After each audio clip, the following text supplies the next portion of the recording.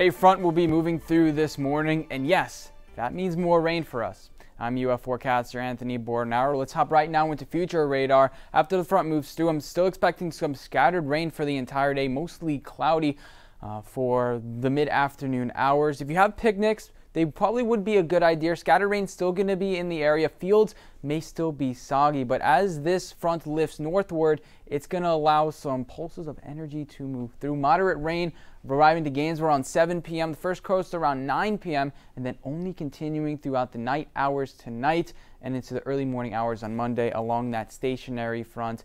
Still going to remain cloudy for the next few days. That will help limit temperatures today into the mid 70s. So villages potentially seeing the lower 80s, but most of us below normal for this time of year. Again, 73 in High Springs and 72 in Lake City. Overnight tonight, low temperatures will get into the 60s thanks to that cold front. So a little bit of shot of cool air, still about 4 to 5 degrees different from this morning. 60 in Gainesville, 62 in Micanopy. Heading a little bit down the I-75 corridor, just a tad warmer, 63 in Ocala, 64 in Belleview, and 66 in the villages. The soggy setup is only going to stay into tomorrow and uh, potentially ending on Tuesday. So this is what I mean. Take a look at this moisture highway.